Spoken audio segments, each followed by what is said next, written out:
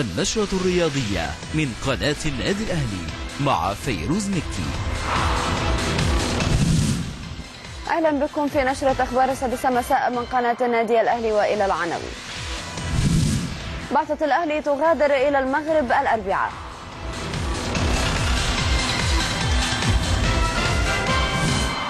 البدري يهاجم الحكم الأثيوبي ويثق في حسم اللقب بالدار البيضاء. ومعلول وربيعة جاهزان لمباراة الإياب أمام الوداد.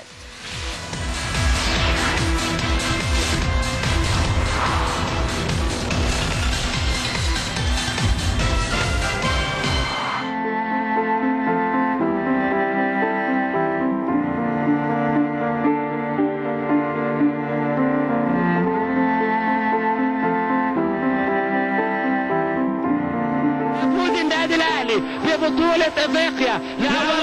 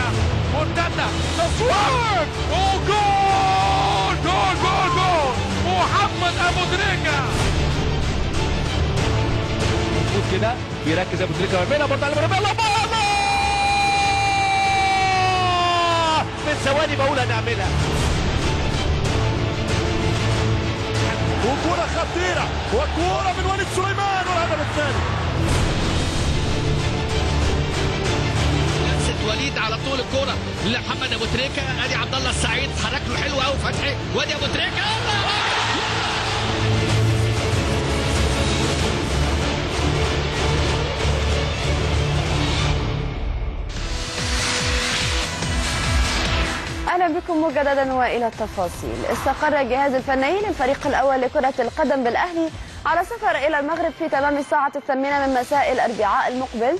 استعدادا لخوض مباراة الإياب أمام الوداد في نهائي دوري أبطال أفريقيا. وكان الفريق قد تعادل في مباراة الذهاب على ملعب برج العرب بنتيجة 1-1 قبل أن يخوض مباراة العودة على ملعب محمد الخامس السبت المقبل حيث يحتاج الأهلي إلى الفوز بأي نتيجة من أجل الحصول على لقب دوري أبطال أفريقيا للمرة التاسعة في تاريخ النادي. ومنح حسام البدري المدير الفني للأهلي لاعبين راحة من التدريبات اليوم الأحد عقب خوض مباراة الوداد على أن يستأنف الفريق تدريباته في الساعة التاسعة من صباح بعد غد الاثنين.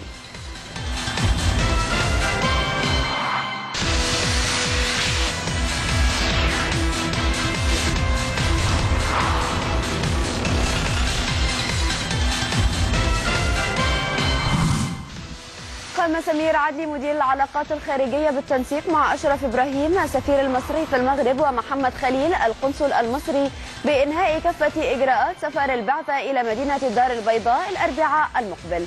ومن المقرر أن يسافر عدلي بصحبة سيد عبد الحفيظ مدير الكرة للمغرب غدا الاثنين من أجل الترتيب لمعسكر الفريق وترتيبات استقبال بعثة الأهلي والاطمئنان على الترتيبات الخاصة بالإقامة والانتقالات وملاعب التدريب.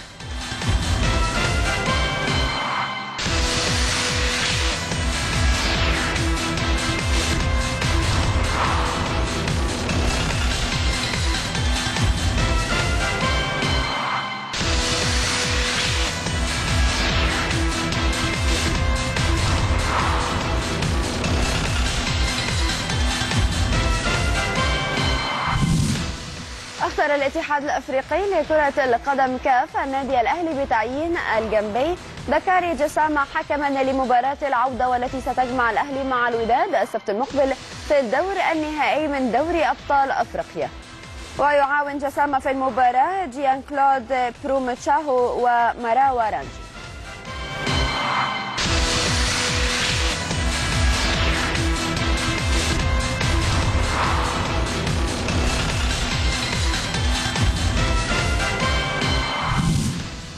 تلقى نادي الأهلي خطابا رسميا اليوم الأحد من اللجنة المنظمة لبطولة كأس العالم للأندية والتي ستقام في الإمارات خلال ديسمبر المقبل.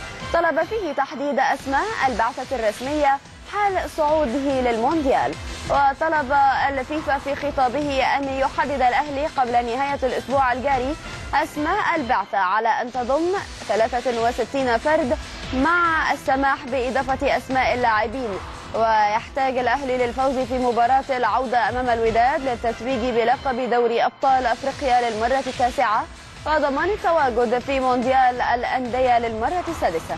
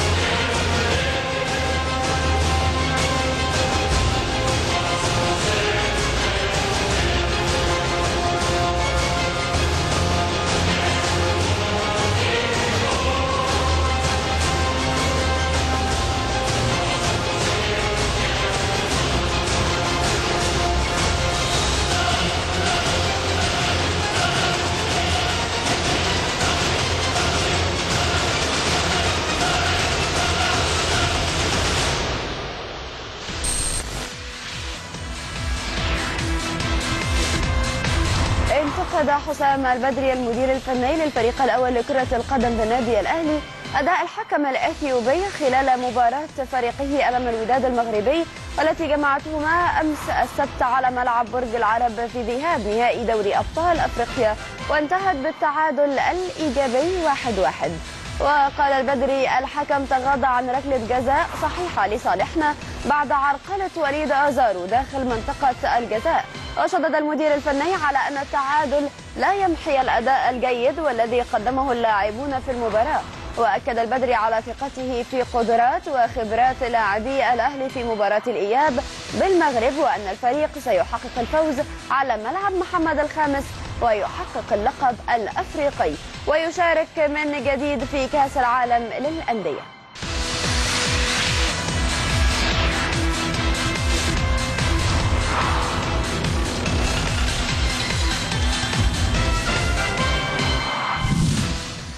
قال المدير الفني لفريق الوداد المغربي لحسين عموتة إن فريقه قدم مباراة جيدة أمام الأهلي. وأضاف عموتة خضنا المباراة ولنا هدف واحد وهو الفوز وهو ما زاد المباراة صعوبة لا سيما وأنها أمام فريق بحجم النادي الأهلي والذي يعج بالنجوم في مختلف المراكز فضلا عن أن المباراة تقام على ملعبه وسط جماهيره العريضة. وتوقع عموتة صعوبة مباراة الإياب في المغرب نظرا لرغبة الأهلي القوية في التعويض ورغبة الوداد في حسم البطولة لصالحه. وختم عموتة تصريحاته قائلا لا يمكننا الاعتماد على نتيجة مباراة الذهاب وسنبذل قصارى جهدنا للفوز في المغرب بنتيجة تمنحنا اللقب.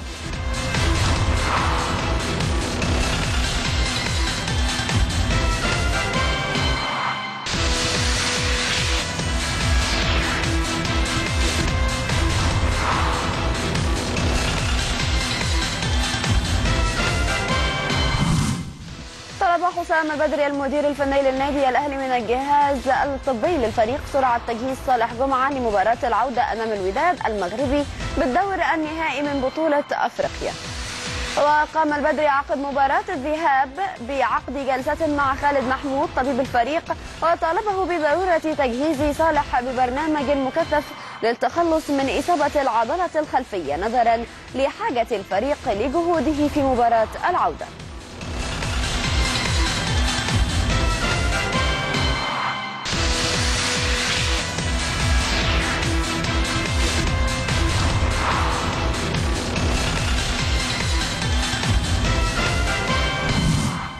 طبعا الجهاز الطبي للاهلي حسام البدري المدير الفني للاهلي بشأن إصابة علي معلول والتي تعرض لها في لقاء الذهاب أمام الوداد المغربي أمس السبت.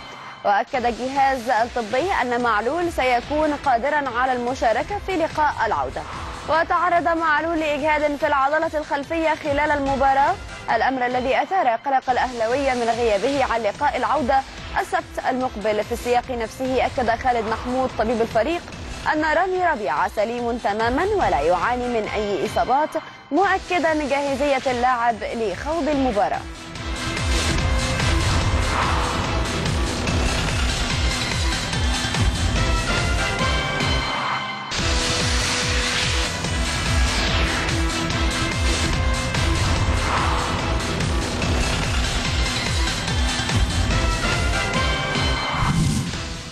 تسلم خالد محمود رئيس الجهاز الطبي للأهلي البرنامج الخاص باللاعب مروان محسن مهاجم الفريق والذي عاد من ألمانيا مؤخرا بعد خضوعه لفحوصات طبية جديدة على الصليبي.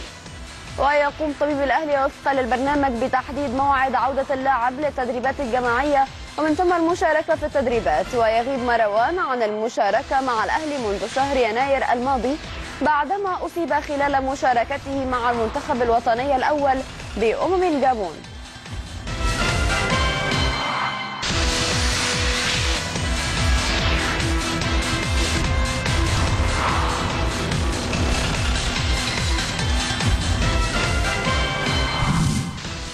قرر نادي النجم الساحلي التونسي برئاسة رضا شرف الدين الإبقاء على المدير الفني للفريق الأول لكرة القدم الفرنسي هبار فيلاد في منصبه لحين إيجاد بديل. وأشار نادي النجم الساحلي إلى أن هيئة قدماء النادي اجتمعت مساء أمس برئاسة رضا شرف الدين وبحضور مجموعة من قدامى اللاعبين واتفقت على مواصلة المدرب هبار فيلود مهامه في الإشراف على الفريق الأول لحين إيجاد بديل.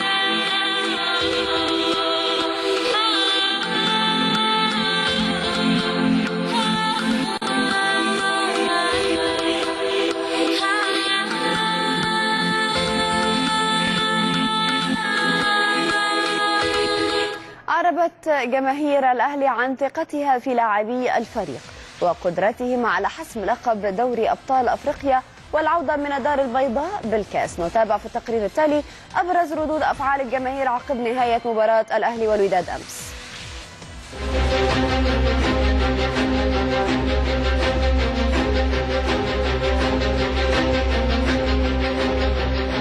سعيد إن أنا واقف النهارده في هذه الشاشة العظيمة وواقف في النادي العظيم النادي الأهلي. آه، فريق النادي الأهلي النهارده لعب بكامل قوته. آه، لعب ماتش قوي ماتش عظيم أمتعنا. آه، عمل كل محاولاته لاختراق دفاع فريق الوداد. بس فريق الوداد يعني الفرقه كلها بتدافع يعني الفرقه كلها واقفة في الدفاع. فكانت صعب جدا يعني اختراقها. آه، عملنا كور حلوة لكن للأسف الحظ ما كانش معانا. آه، لكن الفرقة كلها لعبت آه، بطريقة جيدة. و يعني أتمنى إن شاء الله في ماتش في الماتش القادم في المغرب مع فريق الوداد إن إحنا يعني نحقق مكسبنا ومش بعيد عننا يعني ومش بعيد عن فريق النادي الأهلي الفريق العظيم يعني. لعيبة رجالة ما حلفناش الحظ النهارده النتيجة واحد واحد. بس إن شاء الله مش مصر مش الأهلي بس مصر كلها ورا, ورا الأهلي الأسبوع الجاي. وإن شاء الله نكسب ونجيب النصر النادي الأهلي والمصر إن شاء الله. النادي الأهلي بيظهر دايما في وقت الصعب والوقت الشدائد. الأهلي اعتاد دايما. أنا كناقد رياضي آه، في النادي الأهلي بقى أكتر من عشر سنين. آه، شايف الروح اللي فيها النادي الأهلي شايف إن هو وقت الصعب بتلاقي آه، لعيبة الأهلي حاضرة لعيبة الأهلي عندها خبرات كبيرة. آه، في شوط آه، أي نعم انتهى في برج العرب بنتيجة لا ترضي جماهير النادي الأهلي ولا جهازه الفني ولا إدارته ولا أي حاجة. لكن في شوط تاني السبت اللي جاي آه، في المغرب. أهم حاجة الثقة في في في, في, في ربنا سبحانه وتعالى وال- والروح نفسها إن إحنا 2006 برضه حصل معانا نفس الموقف ده وفوزنا. أهم حاجة الرعونة. نهدى شوية وإن شاء الله التركيز وإن شاء الله التوفيق من عند الله سبحانه وتعالى. نكسب ونرجع بالكسب إن شاء الله. إن شاء الله لسه في شوط تاني وإن شاء الله ربنا يوفق الأهلي وإن شاء الله البطولة بتاع بتاع النادي الأهلي إن شاء الله. المنافس بتاعنا سنهم صغير وخط الدفاع بتاعهم سريع وفاهم وبيقف كويس جدا فبالتالي إحنا محتاجين المهاجم اللي يستغل أنصاف الفرص. ومعلش وليد أزارو ولا أنا وجهة نظري الشخصية هو لعيب كويس بس ما يكون في ماتش وعليه ضغط عصبي ما بيعرفش يأدي كويس. يعني عايز يكون ماتش مريح هيديك زي الماتش اللي فات بتاع تونس طبعا يعني. ده الشوط الأول من. يعني يعتبر الشوط الأول من المباراة وواحد واحد والأهلي عودنا إنه رجالته يعني آه، لا تنتهي المباريات إلا بصفاره الش- الشوط الثاني وهو المباراة الثانية. أملنا كبير جدا لعبوا آه، يعني جيم كان مقفول النهارده. أعتقد هناك آه، في المغرب هيكون الجيم مفتوح أكتر من كده وبالتالي فرص الأهلي هتكون آه، أكبر واملنا كبير إن شاء الله والبطولة بإذن الله للأهلي وسيكون بطل أفريقيا بإذن الله لا بدون شك. إحنا تعودنا من النادي الأهلي دايما إن هو نادي بطولات نادي آه، اللحظات الأخيرة. إحنا تعودنا إن النادي نادي القرن البطل دايما بيتوج في اللحظات الأخيرة والفرحة ما بتكونش فرحة غير لما بتيجي بعد عناء وبعد شقاء. وده لسه يعتبر جزء يعني أي نعم نتيجة مش مرضية للنادي الأهلي وجماهيره. بس إحنا نتمنى طبعا إن في المغرب إن شاء الله آه، دايما برضو منتخب مصر آه، في, في يعني عودنا إن هي في اللحظات الأخيرة جون محمد صلاح الجون بتاع الصفاقسي أبو تريكة إحنا دايما في اللحظات الأخيرة ب ب ب بنجيب من الآخر على طول. وإحنا إن شاء الله الم- الماتش الجاي هنتوج وناخد بطولة أفريقيا ونصعد كأس العالم للأندية إن شاء الله. ماتش نهائي شوطين. الشوط الأولاني في مصر الشوط الثاني هناك. الاهلي كده كده هياخد البطولة. أدعو الله بالتوفيق في المغرب بإذن الله وإن شاء الله إن شاء الله نرجع بالكاس بإذن الله. والله إن شاء الله إحنا معانا 11 بطل بالمدرب وكلهم إن شاء الله وفي شوط تاني إن شاء الله الفريق أحسن. وباذن الله متعودين على النادي الأهلي كده هو ده نادي الأهلي. الماتش كويس جدا ال- ال- الفريق عمل اللي عليه وأزيد. إن شاء الله بإذن الله نادي الأهلي نادي القرن نادي الأزمات إن شاء الله بإذن الله هيرجع لنا من المغرب آه، آه، بالكاس.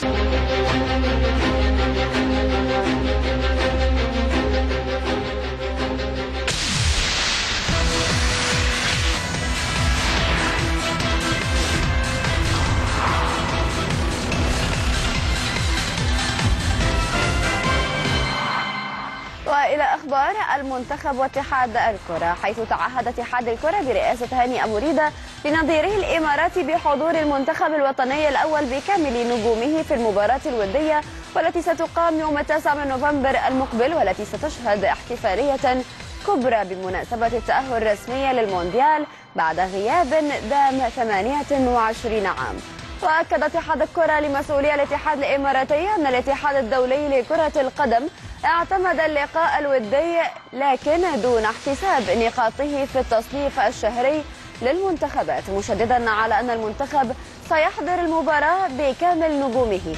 ويتوجه المنتخب عقب المباراة إلى غانا لمواجهة النجوم السوداء يوم الثاني عشر من نوفمبر المقبل في الجولة السادسة والأخيرة بتصفيات المؤهلة للمونديال.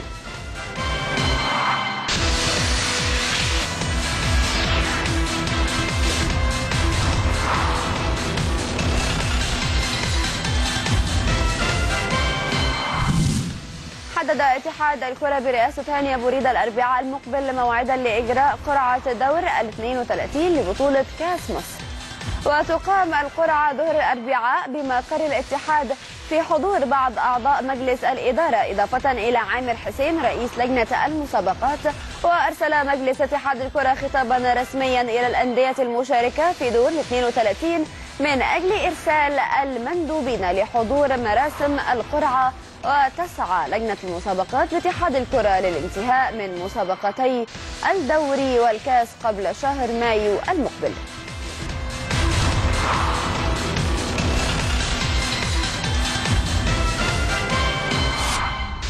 أنا الالتزام. دايما بتعلم. بتحرك. ببص لقدام بجري مش بس عشان حياتي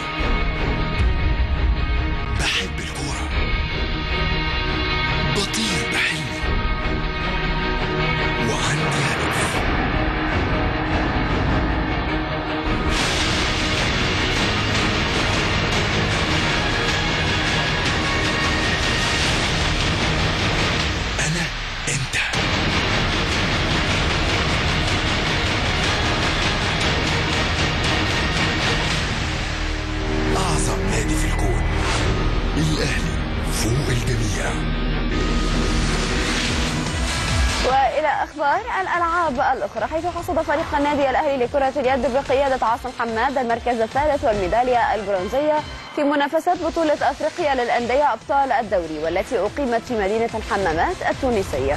ونجح الفريق في تحقيق الفوز على نظيره فريق الحمامات التونسي بنتيجة 23 21 في المباراة التي جمعت الفريقين اليوم الأحد لتحديد الفائز بالمركز الثالث. ومن المقرر أن تعود بعثة الفريق إلى القاهرة غدا الاثنين.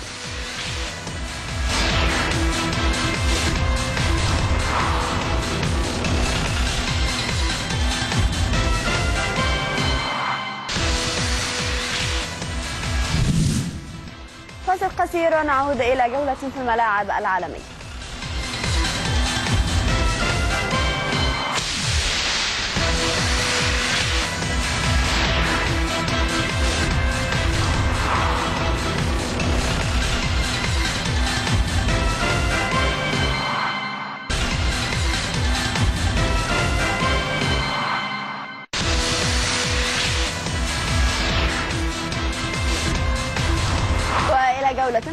الملاعب العالمية حيث تلقى المدرب الفرنسي زين الدين زيدان خبرا سار باقتراب عودة ظهيره الأيمن الدولي الأسباني. داني كارفخال للملاعب من جديد وذكرت تقارير صحفية اليوم الأحد أن كارفخال خضع لفحوصات طبية على القلب مساء أمس السبت. أكدت تعافي اللاعب من الإصابة وجاهزيته للمشاركة في التدريبات بداية من يوم الاثنين. وأضافت التقارير أن الأطباء أخبروا زين الدين زيدان نتيجة تقييمهم لقلب كارفخال حيث أكدوا أن اللاعب في أفضل حال مقارنة بأي وقت مضى وأنه جاهز للمشاركة من آخر في آخر التدريبات عقب اجتياز تدريبات الإجهاد وأنهت الفحوصات الطبية مخاوف ظهير ريال مدريد والذي أصبح جاهزا للمشاركة في التدريبات.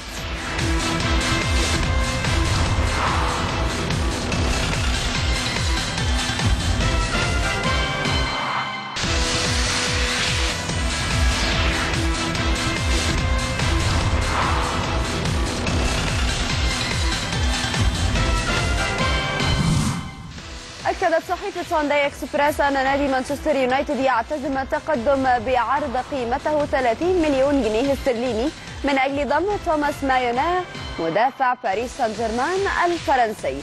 وخرج اللاعب من حسابات أوناي أمري المدير الفني لنادي العاصمة الفرنسية منذ انضمام داني ألفيس لصفوف الفريق قادما من يوفنتوس في الانتقالات الصيفية. وأوضحت سانداي إكسبريس أن البرتغالي جوزيه مورينيو المدير الفني للشياطين الحمر وهو من المعجبين بشدة باللاعب البلجيكي الدولي يرغب بشدة في ضمه لتعزيز الخط الخلفي للفريق في الانتقالات الشتوية.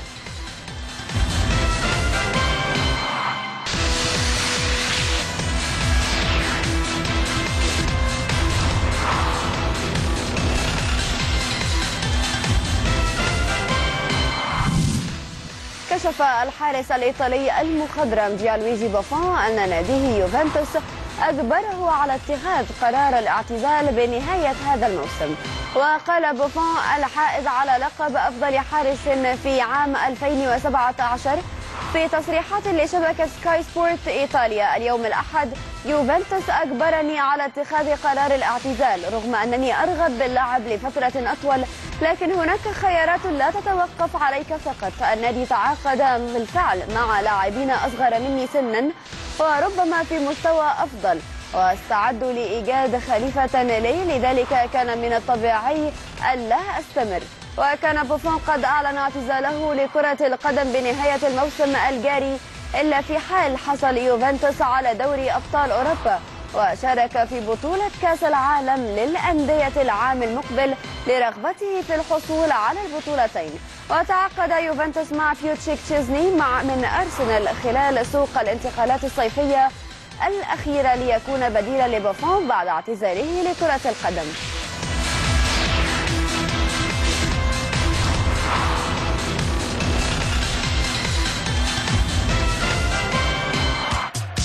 Introducing Wolf. He might be small, but you won't find anyone faster, bolder, or better with a ball.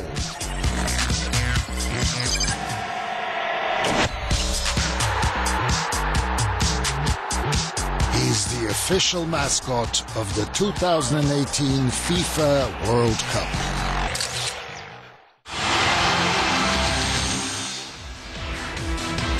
أعرب يواخيم لوف المدير الفني للمنتخب الألماني لكرة القدم عن اعتقاده بأن البرازيل هي أكبر المنافسين في بطولة كأس العالم والتي ستقام في روسيا لعام 2018 وقال لوف في حواره مع التلفزيون الألماني عن المنتخب البرازيلي أنهم تعافوا بشكل جيد من هزيمة 1-7 وأصبحوا أفضل بعض الشيء كما اعتبر لوف ان الأرجنتين وإسبانيا وإنجلترا وفرنسا أيضا من أكبر الفرق المرشحة للفوز بكأس العالم في مونديال روسيا مؤكدا أنها ستكون بطولة صعبة بشكل لا يمكن تصديقه. تجدر الإشارة إلى أن قرعة نهائيات كأس العالم 2018 ستقام في العاصمة الروسية موسكو في الأول من ديسمبر المقبل.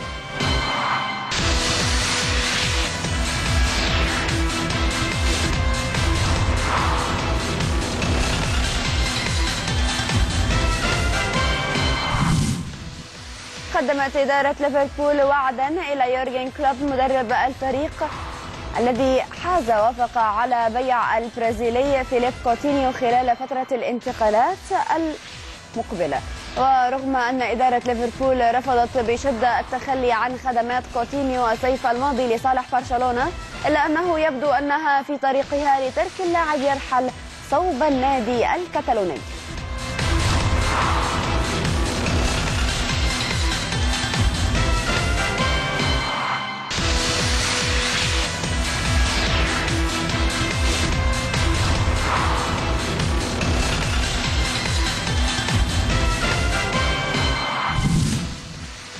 نادي روما الإيطالي تجديد عقد الأرجنتيني. فيدريكو فازيو مدافع الفريق لمدة ثلاثة مواسم مقبلة تنتهي في صيف عام 2020 وانضم فازيو إلى نادي العاصمة الإيطالية في صيف عام 2016 قادما من توتنهام الإنجليزي على سبيل الإعارة قبل أن يقوم روما بشرائه نهائيا في الميركاتو الصيفي الماضي.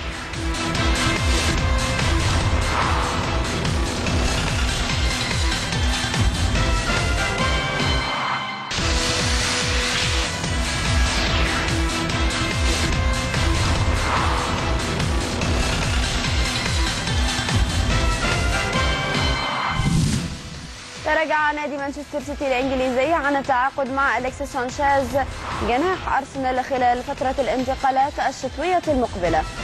ويخطط مانشستر سيتي إلى ضم اللاعب في الصيف المقبل في صفقة انتقال حر بعد بعد أن صعد في عقده وانتهى مع أرسنال.